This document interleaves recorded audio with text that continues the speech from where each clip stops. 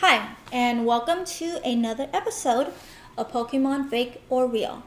Now, um, today we're going to do something different. I bought two cards through Amazon, and they were approximately about the same price, about $20 $25 each box. Here's one it's the um, Golden Groundhog, and these are essentially supposed to be mint condition Pokemon cards without the T- TCG scan cards. And then we have the Pokemon trading card, 100 cards. Both these I bought through the same place, um, not not the same person, but uh, they were through Amazon. And so let's see what we get, okay? And let's see which one's real, if or if both of them are fake. So let's start with the groundhog. Groundhog, I'm gonna pull out five cards, which are Pokemon cards.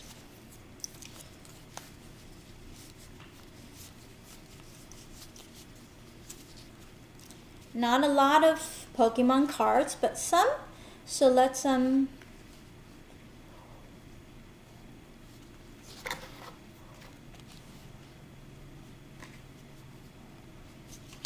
take you where Metapod, Kakuna,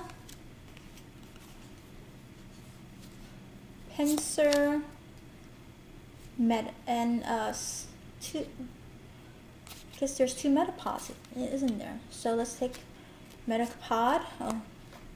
Now I'm going to be doing something to this, which will be very, oh, actually these are different metapods. So Charmeleon, okay? Charmeleon. This is actually a really cool Charmeleon. Okay, so this is for the Golden Groundhog. Now, Golden Groundhog, so let's look again and let's check are any of them over 90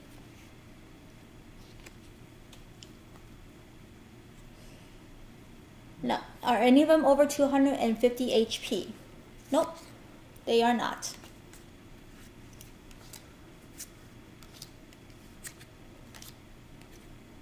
Okay. Now,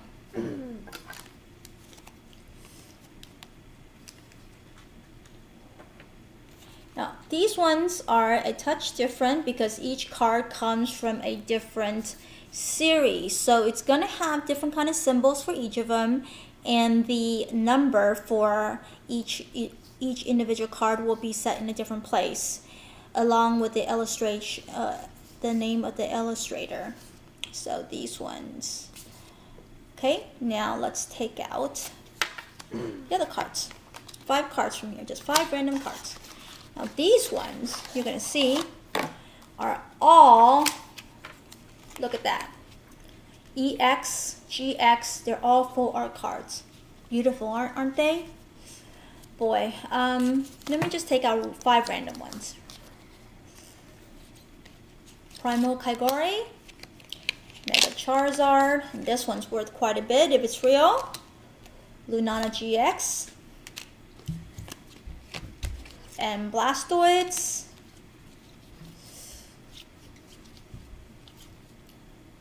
And Tauros, Toros, sorry, Toros GX.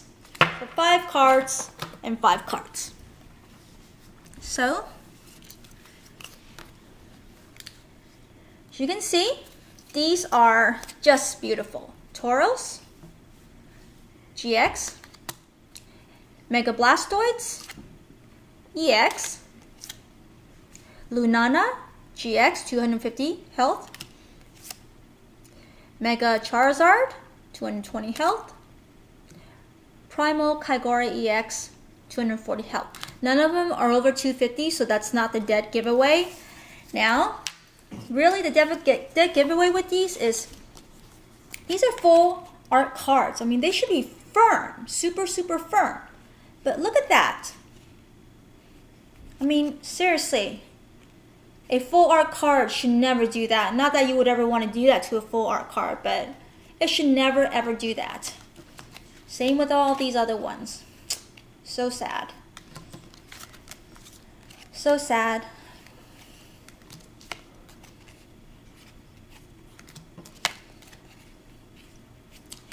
And then the golden groundhog ones, let's see how, how they are. You see that? They don't blend that. They, they don't they don't bend that that much. They're not as flexible as even the full art cards in the other package. See that? Kakune, Kakuna, sorry. Metapod. Beware. Okay? Now, I'm going to go through my stack of authentic Pokemon cards and find one. Oh, it's so painful. But I'm going to rip, rip up a card for you so you can see what an authentic Pokemon card really feels like. And so let me ask my son which one is he approves. Tangela, is that okay? Okay, Tangela. We're going to use Tangela as our example rip-up card. I do like Tan Tangela, but um, I just wanted you to see. Okay, so here's Tangela. Here's Tauros GX. Now, before, sorry, Tangela and Tauros GX. Now, before I rip up the cards, I want to show you something in the back, right? Look at the back. Which one's real, which one's fake? Now, again, the cards are almost identical to each other in color, except the fake one is actually more vibrant in its color. And sometimes that happens. That sometimes scans just scan darker and then they put it on. Um, and so it really depends on how they scan it in. But if you look at the corner over here, right here, do you see that? It's blurred. Uh, in authentic Pokemon cards should never be blurred, ever. This one is clear throughout the card. Look at that. Draw it, it there, down to there, down to there, and right down and up there. It's completely clear and it is that card that line is distinctive around there, it's not blurred.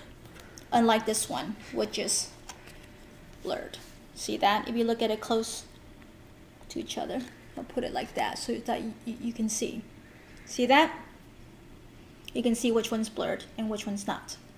So this is the, the real card, this is a fake card. So we're gonna tear up this beautiful Tauros GX and we're gonna see what, what's inside, okay? Oh my. Here's your Toros GX.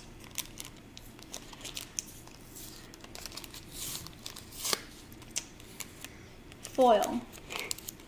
A piece scanned onto a piece of foil and put onto a, a piece of cardboard, light white cardboard. And that's how you know if you rip it up a real Pokemon card will never be just a piece of foil on top. Tangela, so very sorry, but I'm gonna have to rip you up, okay? Ouch. See that? It's white in the inside. It's super thick, right? It's thick. And if you can look closely, I'm not sure if you can see it, but you can see like a, a bit of a dark band along the bottom of this. And that's because Pokemon, to ensure that their cards are well made and not transparent when you when you reflect when you put it against super bright light, um, they put dark bands inside of, of their cards so that it's never transparent. So this is Tangela, so sorry. Um, a real Pokemon card ripped in half, and that's how it looks like. And this is a GX fake card ripped in half, and that's how it looks like. Back foil, front, and just piece of garbage here. So I hope you, you learned something today. And if you want to see more of, of my videos, please subscribe to my channel and I look forward to seeing you next time and have a great day. Bye.